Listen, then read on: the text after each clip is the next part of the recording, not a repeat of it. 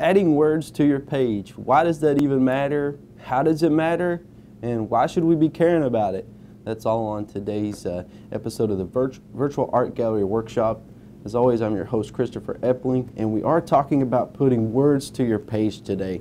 Now, there's a big misconception on how words actually uh, interact with the children's book. Mostly when we're talking about either chapter books or graphic novels or picture books, we don't think a whole lot about how words are placed or where they're placed or why they're even placed there. But there is an importance to those.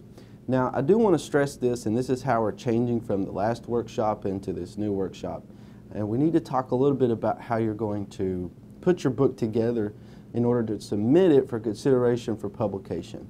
And you don't have to really overthink this too much, but just look at it in terms of this. When you submit your book for print, your text has to be legible. We have to understand what it is you're wanting to say on each page, whether you hand draw the text or you type the text up and you place that in later on.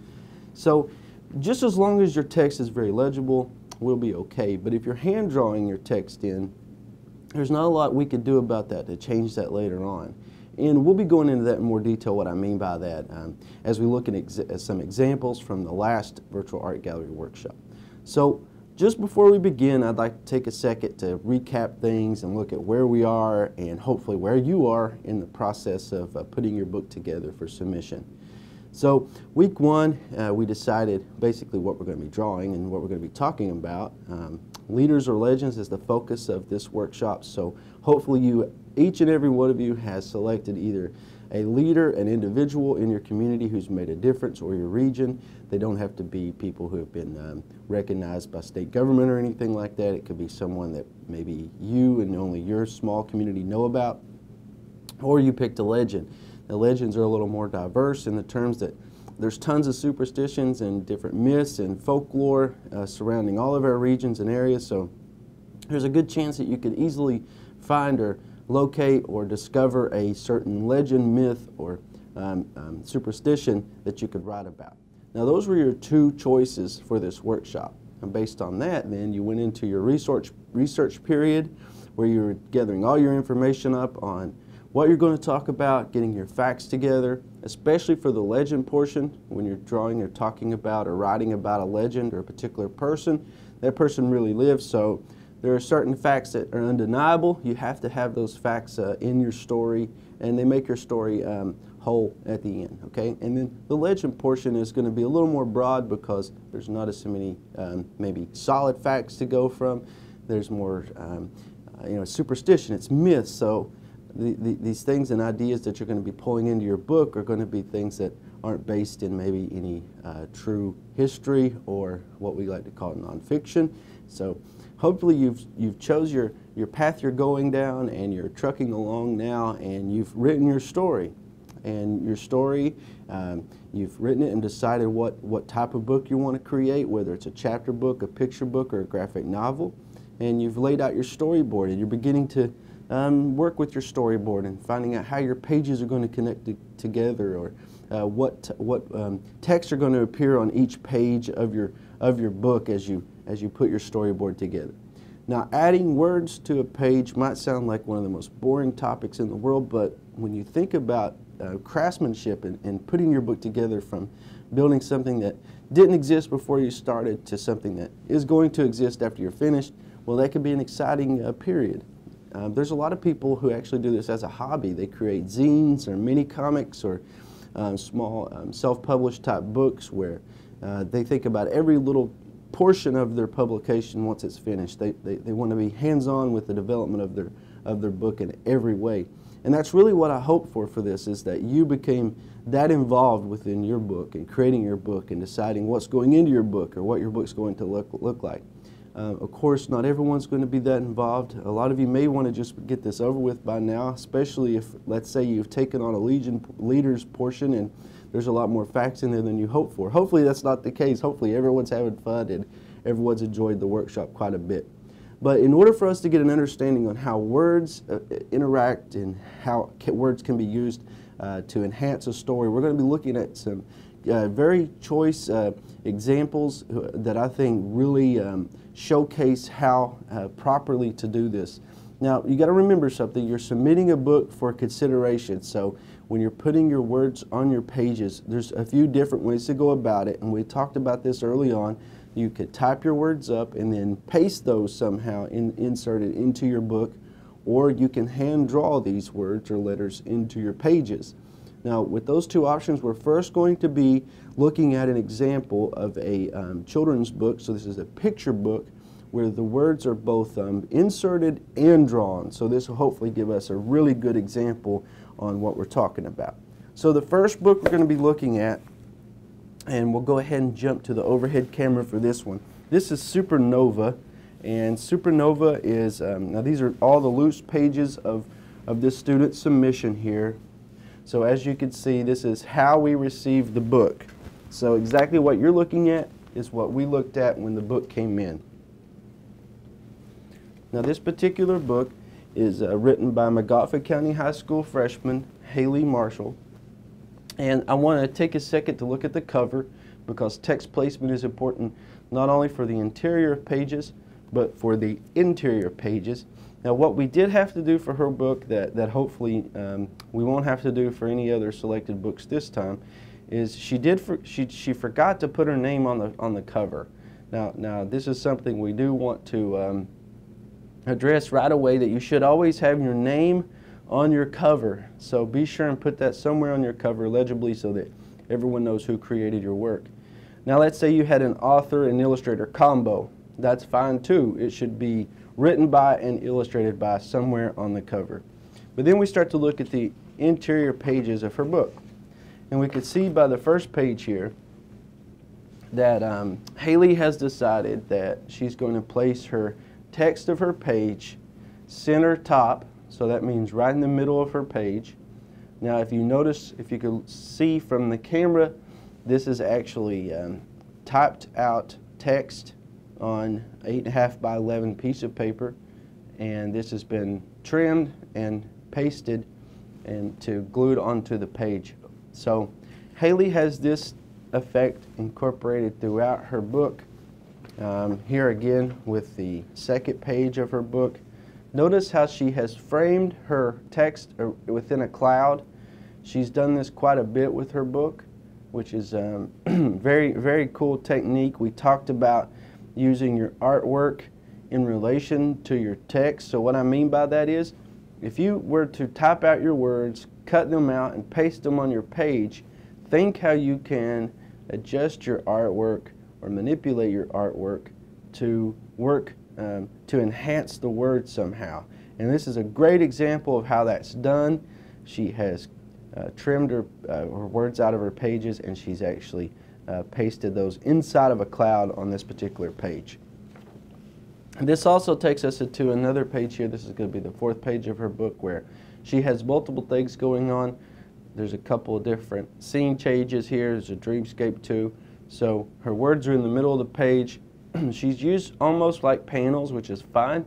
Um, this is not a graphic novel though, this is a picture book, but there are no really set in stone um, guidelines or rules we have to go by. The only rules is that 90% of the book um, uh, is made up of these full-blown color illustrations such as this one. Um, a lot of her pages incorporate, um, if not all of them, except for a couple, um, this technique of cutting out the page, uh, the, the, the word search story and placing those on her page. Now the interesting thing about doing this is she, in the creation of her storyboard, knew exactly what was going to appear on this page of her story. So before she ever started coloring or drawing the illustrations, Haley knew that this sentence of she started to notice that her stars were looking a bit dull and dark she knew that this sentence was going to appear on this particular page. So before starting with her work of creating a finished page, she could craft her page around whatever text was appearing, okay? And this is just very skillfully done. I'm very proud of her for this. Um, here we have a thought balloon. She incorporates different elements in her story. Not all of them are um, strictly based in, in, in um, in picture books or what you think of illustration, she incorporates some comic elements with thought balloons and panels into her work too. So she's done a few different things here. Now this is a really cool sequence. Uh, this is a sequence where the main character is again explaining um, the, the, what's going on with them in terms of how they're relating to their environment. And she says she sat for days through rain, snow, sleet, and hail, wondering what the problem could be. And she's really shown this sequence quite well in the sense that she's got these passing panels that are occurring. So we start out over here, and as she passes through um, the different segments of her sentence, talking about the different things that the character set through, we see this passage of time as well through the panels drawn for her um, illustration. And then this leads us into her further pages where she's continued to use this element. So this is one option that you have where you can type up the words that are going to appear on the page. You can insert those words somewhere on your page. And, you know, planning is involved in this quite deal. Um, thinking about where you're going to place your text in a finished page or any given on, on any given page as well. So I really like how she completed this and how she approached this. I thought she did a great job. And now she has inserted some text here. This is part of the illustration with the board. Um, you see how she's placed Sky Park. So we have to know the difference between the written text of the story, which will appear here. This is the narration of the story. And then something that are words, but they're part of an illustration. Now that's different than uh, the actual text to making up the story.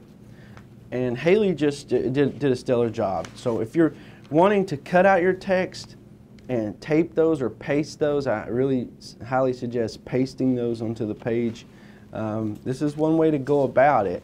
And it, it makes for um, the process of us cleaning up these pages for print a lot easier because the words are very legible.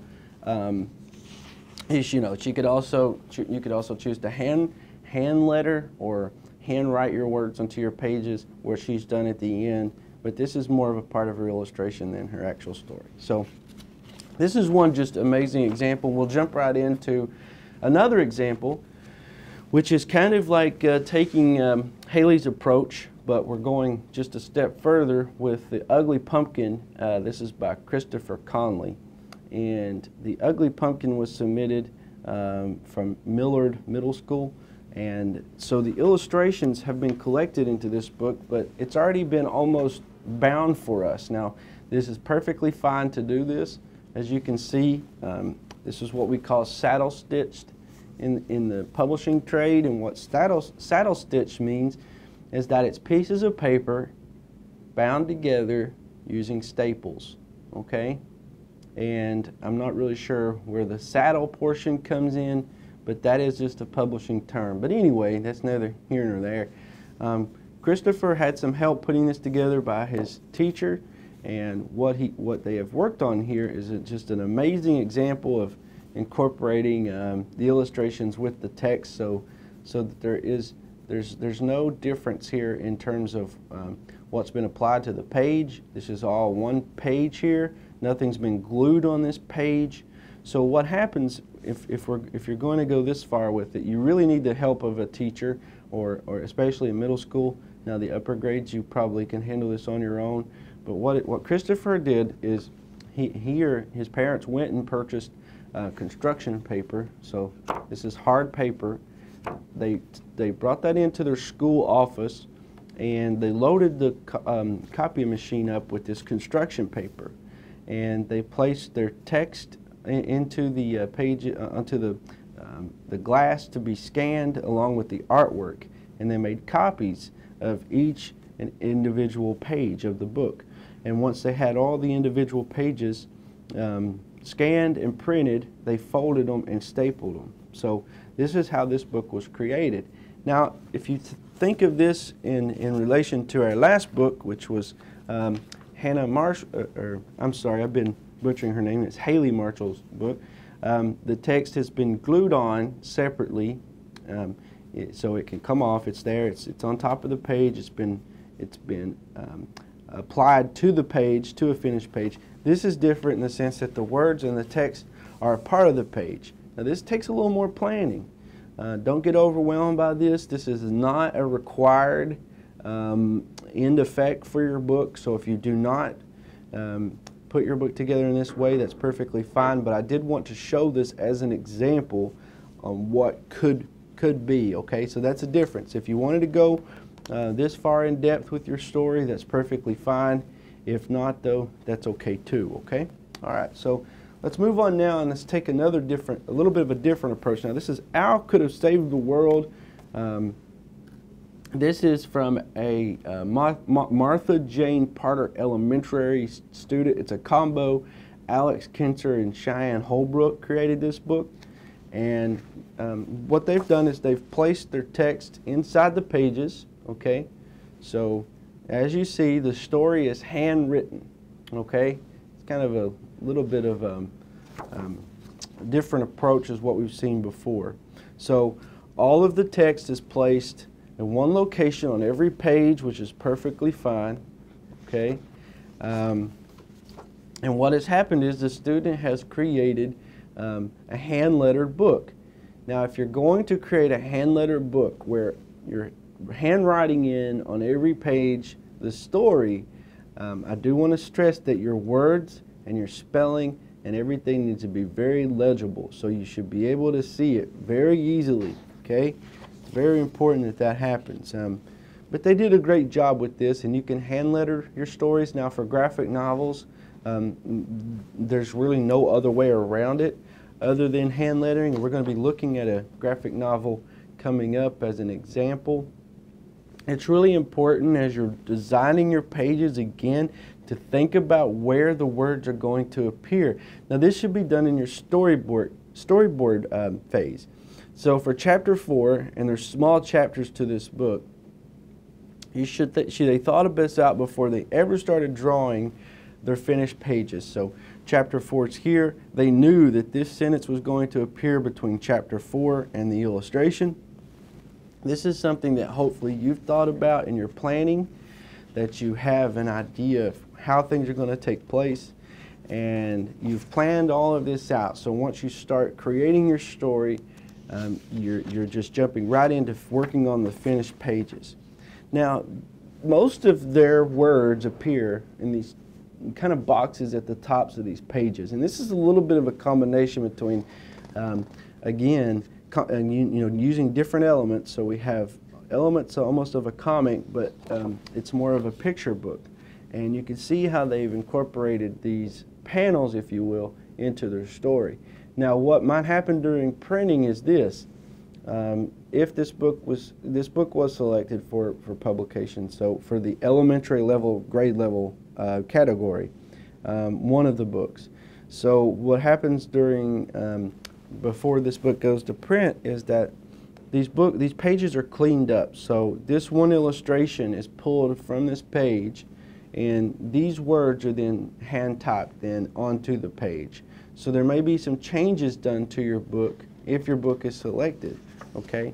So just make sure, I can't stress this enough, that if you're going to place your words on a page, make sure that if you're handwriting those words, make sure you, you, you everything's very legible. We can read what it is you meant by a certain sentence, and that, so there's no confusion and your story isn't altered at all, okay? But this is a great example on, um, on how to hand letter your story. Um, it can be done. It's very easy um, uh, to do this in terms of uh, just planning. If you plan out what's going to appear on each page before you do it, then you should be perfectly fine. So that's a great example of hand lettering with Al Saves the World. Okay? Now let's go into graphic novels for a second. Now this is one of the most amazing graphic novels I've seen produced by uh, students, and there's two of these actually that were selected for uh, publication of the, um, the virtual art gallery workshop. And with these, graphic noveling is a lot different than your picture books or your chapter books. There's more, uh, there's you know more drawings taking place inside panels. Sometimes panels can have, um, I mean, pages can have multiple panels. So let's say you've selected the graphic novel format. And we gave a parameter at the beginning of this that between 15 and 20 pages for a graphic novel. That's not a whole lot. If you were to go to any library shelf and pull a graphic novel off the shelf, you're going to see that some of those have a lot more pages than that. But for the purpose of the workshop, 15 pages is a lot, especially since when you consider that for, for a, um, um, a picture book, it's one drawing per page. So on a graphic novel, one page can have, you know, umpteen different drawings on it. So we wanted to be fair about that in terms of if you select this different this format, the graphic, no, graphic, graphic novel format for the virtual art gallery workshop, that you know you, you're you're not having to do excessive work as compared to someone who is selecting one of the other categories. But there's two graphic novels that were selected for um, the virtual art gallery workshops uh, public publication um, for Stars Publishing uh, out of last time, and those two were Deception um, by Sarah Colvin and Abby Webb, and they were actually two students who were recently showcased on the Pike TV um, uh, art workshop that I host. Um, they came in and talked about their book Deception, and then the other book is um, Chrissy Walters. Um, it's called Brutus and Rudy's Unorthodox Adventure. Now, those are the two books we're going to be looking at. And I don't want you to feel overwhelmed when you see their work. Uh, they went far and beyond expectations for this, but I do want you to try. I don't want you to say, well, I can't do that, and he said it was okay, I don't try. But, you know, let's just remember that these students were selected to be published, so um, they did something right, so we can learn a little bit from those. So the first one we're going to be looking at is deception. Now, these uh, pages are placed in these plastic um, page protectors simply because um, this is graphite, and, and, and if you know, and some charcoal, so when you touch it, um, you, you could smudge it really easy, and we didn't want the artwork to alter too bad in between, um, you know, so, so we kept, we kept these um, in, in, these page protectors. But Deception is the title of, uh, of Sarah, Sarah Colvin and Abby Webb's work. And um, so as we turn the page here, we can see that what they have chose to do for their work, it's a little different now. This is a this is technically um, a, a, graphic novel in the sense that that that is it is um, that's that's how she assigned it to the workshop. So she turned it in as a graphic novel. But you're going to notice something that this this borderlines with again a picture book. There's full full blown illustrations for um, what we consider one big panel is what we could look at this. So uh, she submitted this as a graphic novel. Now the other example is going to be more standard um, graphic, uh, graphic novel in terms of panels. So when she submitted this, uh, you could see that we have the words printed out on one page and then a full illustration here for the second page, okay? And I've noticed that with the last workshop, there was a lot of blurring the lines between different types of books, which is fine. I like that. Um, so you have a book that resembles a graphic novel in the sense that there's, you know, some panels on pages, but it's not completely a graphic novel um, because there's not multiple panels on every page. And then you had some picture books that resembled a little bit like comics in the sense that um, there were some boxes on the pages or panels. Um, there wasn't all full-blown illustrations. But as you can see now, she's a very talented artist. She she is um, Sarah Colvin um, and Abby Webb both teamed up on this. They both worked on the illustrations and the writing for it. So their approach to this was to print out their words and then have a full illustration. And by doing so, enabled us in terms of setting these pages up for print because we can arrange this artwork how we want for the printed page, okay? And so we could put the words onto these pages um, where we need to, which really opens up a lot of room for us. Now this is a, a very interesting story. Um, it follows the main character throughout their, their uh, almost like a, um, a saga, if you will. Uh, there's supposed to be future books from this. But this is one way to go about it, okay? Now, this resembles a picture book, I understand, but when we move in towards um, Brutus and Rudy's Unorthodox Adventure, which is, I'm going to pull it right in, slide it in here. This is a lot different. Now this follows what you would imagine a typical graphic novel, okay?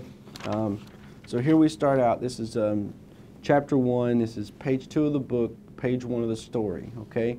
And inside here, we first start out with this full-blown um, panel. It's a full cover panel or full page panel. Um, we have our narration boxes. We want to remember when placing the words on our pages, we can use a few different things at our disposal for graphic novels. One of those are narration boxes. We talked about those already. Uh, narration boxes is, is where the story is being told to us by the narrator, but the main characters cannot hear what is being said or what is being told to us inside of these boxes. Whereas, um, opposed to, let's say, a thought balloon or a speech balloon, where that is direct communication between two characters. So here's another, uh, the first page, and we start to see now our panels. Our panels are being, um, now she has a loose um, style to her work. Her work is not very rigid or very technical. And um, here we can see, start to see some of the, the typical, as what we think of as being typical comics um, um, approaches here with the word balloons. We have the, um, the character yelling, so it's a little bit of a different border around the speech here. So she's incorporated all the elements of what we think of a comic book. And you see how she structured her panels. Her panels are uh, not the same on every page. In fact, as you remember with the first page, it was a full page panel introducing us to the story, setting um, the environment and the setting um, right away.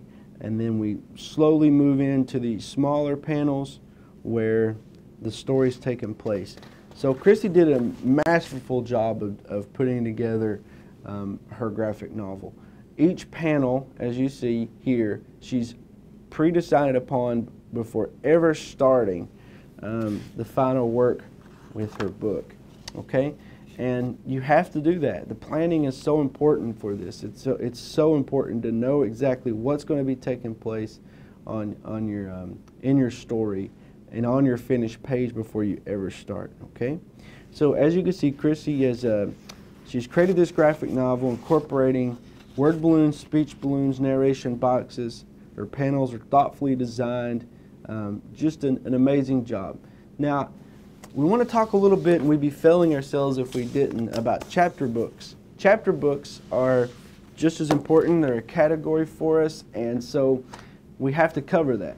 And while chapter books apply more so for the superstition or the legends portion of this, um, we still want to cover it. I know some students are thinking about doing a chapter book for their uh, to, to, describe their legend or their myth or superstition. So I, I found um, one that really fits uh, um, as an example really well, and it's called Confessions of a Jailbird, and this is from Taylor Bush and the illustrators Abby Hamilton from Betsy Layne. And this book, when put together, just did an amazing job of putting together what we need for the words in relation to uh, uh, the illustration. So if we could take a look at that one for a second, I think we'll be, we'll be set. So this is our um, example for a chapter book.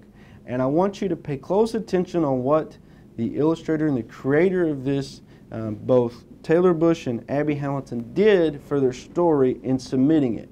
Now they thought about what was going to happen when this book was printed, and they, they designed their, their um, submission around that. So what we received was this. This is a, um, there's a big paper clip here, or a big binder clip, I should say, with all the pages in between.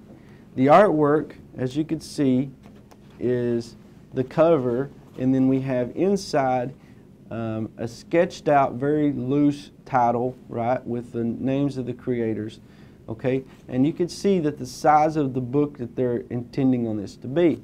They do not want this book to be 8.5 by 11. They're intending on this book to be smaller, much smaller, maybe 8.5 by 5.5, okay? And all of the following pages then were created at this size. So they typed out their pages, okay?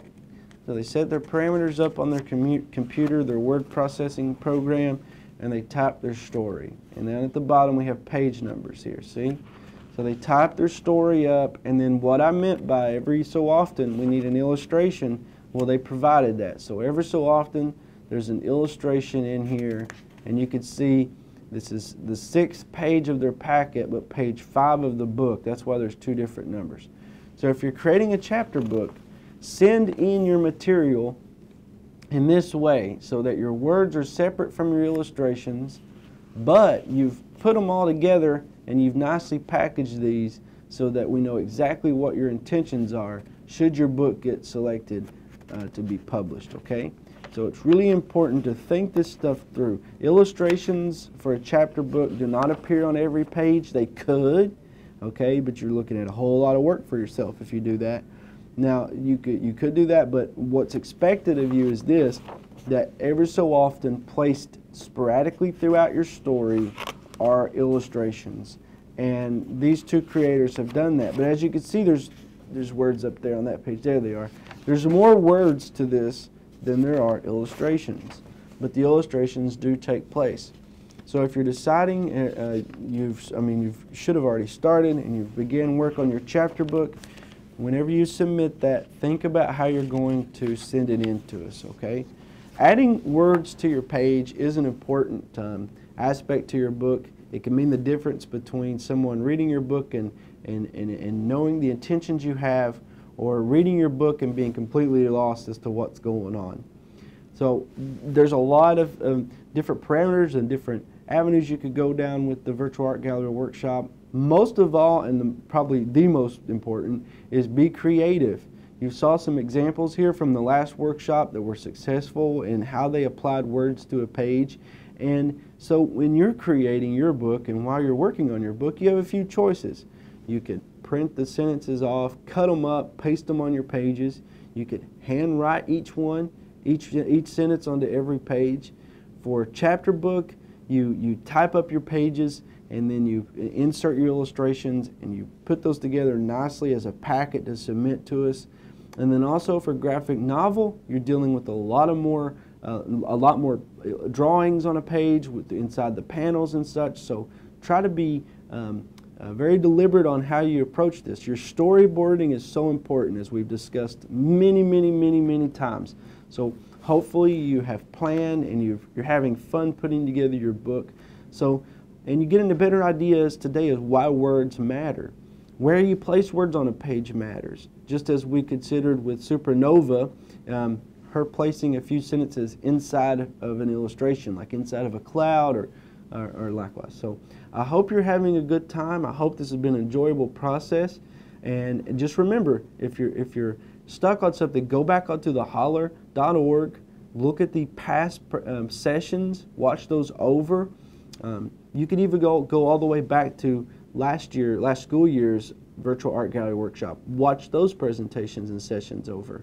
There will be a tutorial created for this week, but it won't be until after Thanksgiving. So we are in week six. There's only eight weeks. Of course, we always give some time at the end for you to get everything together. So it's not like as soon as week eight happens, it's done and over, everything stops. Uh, we'll work with you to get everything together so that you get it submitted. The first published books for the students from this past school years is going to be available coming up in the spring. It takes time to publish these books. Um, students that were selected will receive copies of their books to be working with um, UPIKE and, and um, setting up a business model for their business so they'll be able to um, leave the gate in, in a successful way, hopefully. So thank you so much for participating. I hope you're enjoying the process so far. And until next time, keep drawing.